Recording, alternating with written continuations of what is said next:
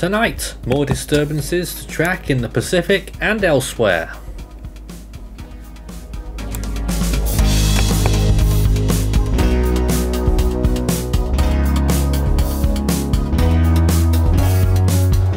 And now the latest around the wide world of tropics. Tropical Weather Bulletin for August 18th. Well, all we've got on the radar right now is what's left of Yvette in the Eastern Pacific, but more cyclones could be on the way as we'll delve into the individual areas. We've got code blue in effect for the Indian Ocean for a disturbance that could affect a lot of people with heavy rainfall. Day 79 in the Atlantic and it is still empty with no areas of interest at the moment um, and nothing expected in the next five days, although beyond that time period we may start to see a little bit of life. In the Eastern Pacific, all we have is the remnants of Yvette, no other areas are suspect or expected to form in the next five days. So a quiet Eastern Pacific for once it would seem with just the trailing poor old remnants of Yvette. In the Western Pacific, we've got a 10% chance that we've designated in the Philippine Sea right now.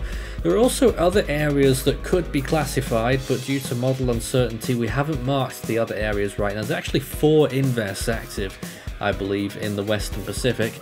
And in the Indian Ocean, we've marked a 20% chance now, just emerging uh, off Myanmar an area of interest that could develop into a tropical cyclone before striking eastern India. Regardless of development, it will cause substantial amounts of rain which could lead to flooding for millions. Let's take a look at latest satellite imagery across the Atlantic and it's looking pretty bereft of any activity really.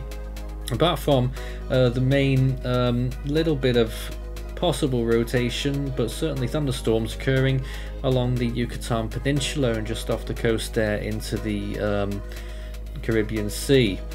In the Eastern Pacific, uh, this is what we're showing right now. Not much to look at, just a lot of general uh, disorganized thunderstorms all across the ITCZ and also up the coast of Mexico. And if you look carefully, you'll spot the remnants of Yvette. And in the Western Pacific, you can see here um, again several different disturbances that are currently active there right now. None of them looking particularly appetizing just yet, but things may change as time goes on, and we've identified the one with the best chance is probably the one that's headed towards just east of the Philippine Islands. And into our other spots, the Indian Ocean, can get another look at the massive amounts of convection blowing up over the Bay of Bengal already ahead of that low pressure system that could develop and also a few little flashes over in uh, the coast of Pakistan there as well in the Arabian Sea and in the southern hemisphere it's a fairly quiet wintry picture for Australia and New Zealand with a few frontal systems churning up energy around there as well from uh, New Caledonia down to New Zealand. Let's check sea surface temperatures then.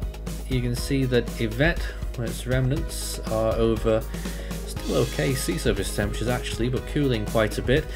Um, Eastern Pacific still got a lot more to offer by the way when you look at those SSTs. Atlantic obviously has loads to offer.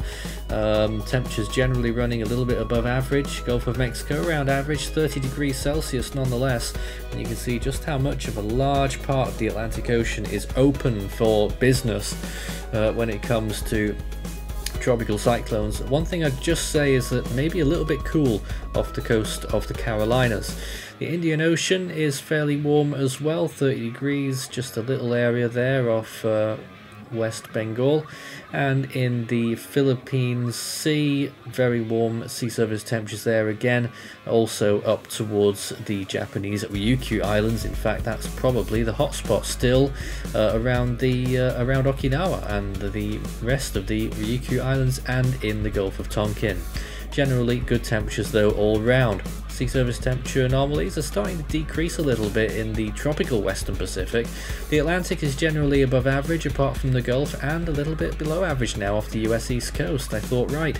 And in the eastern Pacific generally below average with the La Nina in effect still in the central part there, although in some of the tropical development areas it is a bit above average. Uh, OHC, the oceanic heat content, you can see is extremely favourable once again in the Caribbean Sea into the Gulf of Mexico. Keep watching that area very closely. Western Pacific also piping hot, of course, as you would expect, and that's creeping over towards the Eastern Pacific now as well, just a little bit. So I certainly wouldn't rule out more developments in the Eastern Pacific this season, which is batting well above um, its expectations so far. Here's some models then, uh, nothing to look at in the Western Hemisphere, so we're straight to the Western Pacific, uh, where you can see several different areas of interest that try to form. One in the South China Sea, one near the Philippines, the one that we've marked, and another there that GFS is more confident on than the other models, uh, depicting it becoming a tropical storm at a higher latitude there, well to the east of the Japanese islands. So there's a potential third tropical cyclone and who knows, maybe a fourth in there somewhere as well. Here's the Indian Ocean. This happens very quickly indeed, this area of interest that becomes a tropical cyclone. GFS is very sold on the idea.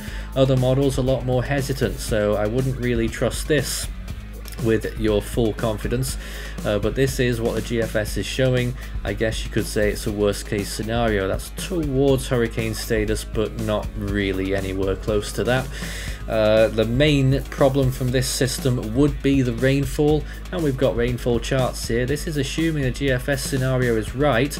Now, bearing in mind it has a stronger storm than any of the others, that's more convection and more rainfall potential. Uh, so this is once again probably a worst case scenario. All the red zones there are 10 inches of rain or higher, that's around 250 millimeters um, and those are storm totals and you can see their maximums of around 12 inches inland in central India um, and a small area of 19 inches there just off the coast of Myanmar. So potentially extremely high amounts of rain for some of those areas. A very thin swathe, but it is still more than 20 million people in the potential chance for uh, 10 inches. In the longer range, day 5 through 10, we can look at the Atlantic and a wave that moves through the main development region down there in the tropical zone. You can see a tiny little thing starting to form there and it does become a tropical cyclone. Look how small it is. Um, smaller, almost as small as some of those um, Caribbean islands but there it is moving through towards the west sometimes you get really tiny systems like this that happen usually in July August uh, so that could well be another one on the cards but that is in the longer range towards day 10. Western Pacific, you can see two of those systems eventually forming, uh, the second one moving through to the East China Sea, and then another one forming uh, well out in the open Western Pacific, probably not far from Minami Torishima if you're familiar with that place, well to the east of the Mariana Islands. That's around, what, the 25th of August, so that is around seven days away. So, you know, uh, an interesting chance on that one, but we haven't designated it and it does become a typhoon there on the longer range. Well, that's all the serious stuff done with. You can take a look at the Force Thirteen merch store by uh, scanning the barcode and you can check out all of what we have including the still waiting for Hone t-shirts and you can request you can request individual storms and full season animations.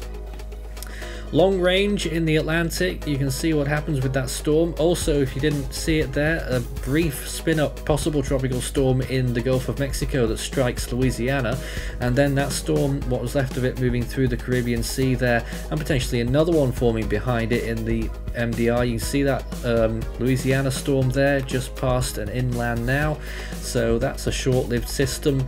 But even on long range GFS, no hurricanes through the 1st of September, so uh, that might be something interesting.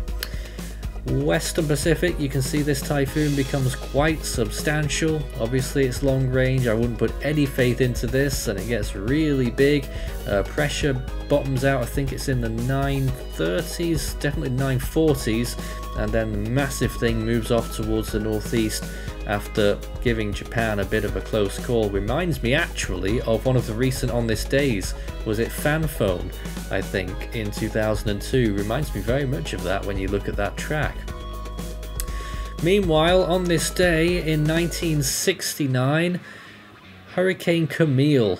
Well, what can you say about that? Uh, one of the most powerful, destructive storms, um, a once in a generation storm event. Um, in ways, it was worse than Katrina. In other ways, Katrina was much worse. But Camille was an absolutely devastating storm for the Gulf Coast, particularly in Mississippi. Um, Debbie was also active, a Category 2 in the Atlantic was a fish storm, and Cora was a Category 1 typhoon headed northwest. Meanwhile, on this day, feels like such a long time ago now, 1969. Not that I was there. The next name in the Atlantic is Danielle. In the Eastern Pacific, the next name is Javier. And in the Central Pacific, the next name is Hone. In the Western Pacific, the next name coming up is Ma-on. And in the North Indian Ocean, we'll be looking out next for Sitrang. We've seen 46 storms so far, which is exactly half of what we usually expect in a year. So in the last four months of the year, it's going to be pretty busy if we're going to reach that. Darian is next up in Australia. The Southwest Indian Ocean starts with Ashley, and in the South Pacific, the next name is Harley. That's all for tonight. We'll have another tropical weather bulletin tomorrow night.